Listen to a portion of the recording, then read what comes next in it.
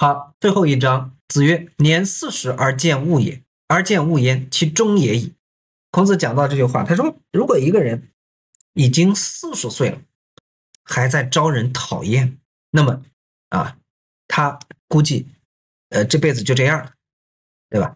他这辈子就这样了。如果一个人到了四十还在被人讨厌着，那么他估计也没什么前途，因为一个人到了四十岁还不能够去修身。”那后面还有什么用呢？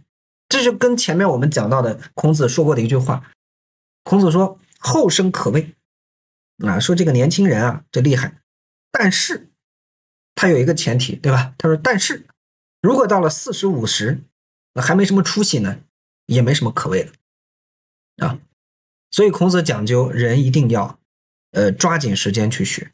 当然，可能会大家会觉得说，为什么他会讲到这个四十怎么样？因为孔子在《论语》当中还有一句很重要的话：“四十岁是一个什么样的岁数？”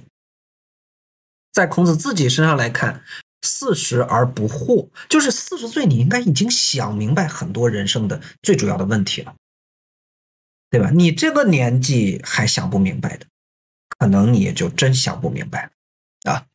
他就讲“四十而见物焉”。如果一个人到四十岁还被人讨厌，那一定是没想明白。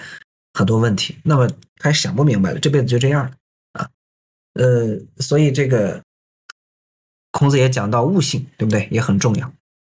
好，这是我们的第十七篇啊，十七篇二十六章全部读完了。